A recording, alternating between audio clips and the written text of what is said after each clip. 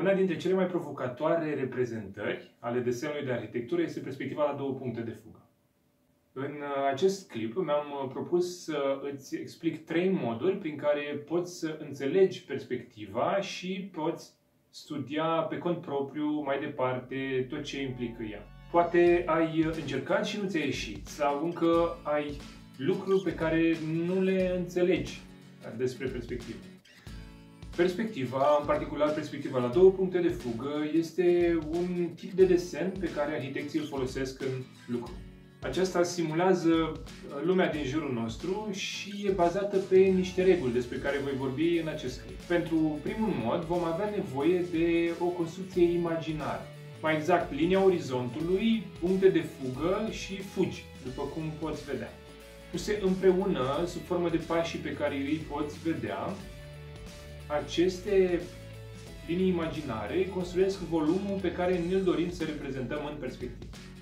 Toate acestea, împreună cu o atenție și o grijă pentru detalii, vor forma în cele din urmă un paralipiped pe care îl vedem de la nivelul ochiului, adică care se întinde atât sub cât și deasupra liniei orizontului.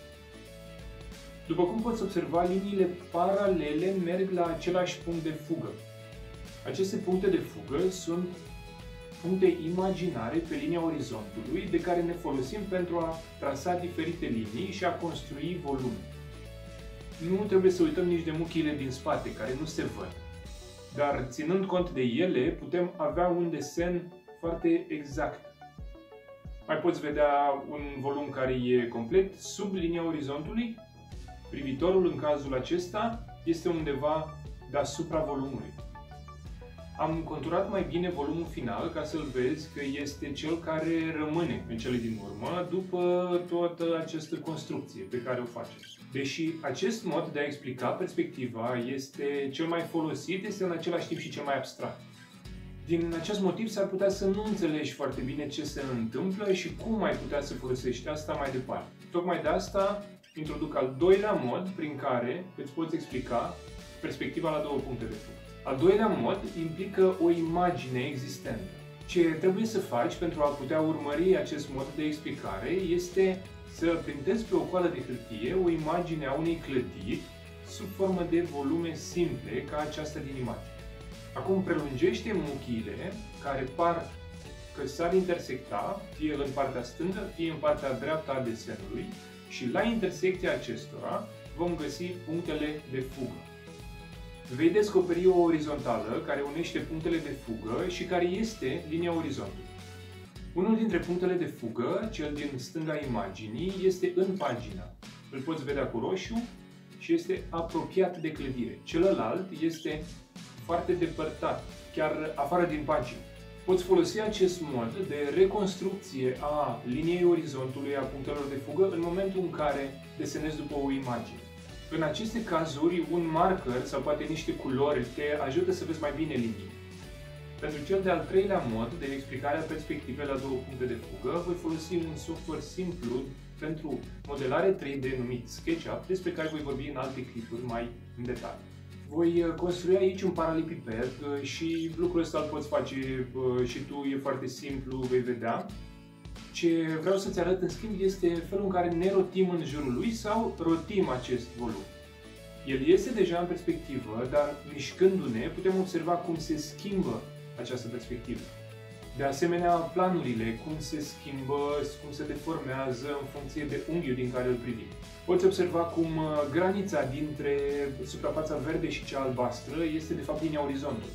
Aici uh, voi introduce câteva linii pentru a vedea mai bine această construcție care se numește punct de fugă și fugi care merg la aceste puncte. Introducând câteva linii punctate, vei vedea cum muchile volumului se prelungesc până pe linia orizontului la punctele de fugă. Ne putem juca și cu distanța dintre punctele de fugă, dar mai multe despre perspectivă și modul în care aceasta se deformează într-un clip viitor. Aceste explicații sunt doar o introducere în ceea ce presupune perspectiva. Cu timpul și cu exercițiul, bineînțeles, uh, se va forma în imaginația ta ceea ce ai văzut în SketchUp.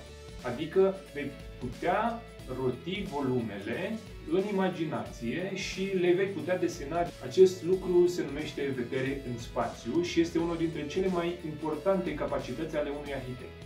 Gata, asta e. Sper că ai înțeles. Sunt multe lucruri de discutat în ce privește perspectiva și desenul de arhitectură în general.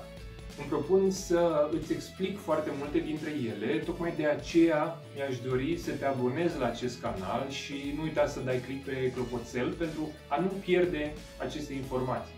Pentru sfaturi în particular despre ceea ce presupune desenul de arhitectură sau admiterea la această facultate, contactează-mă prin intermediul e-mailului din descriere.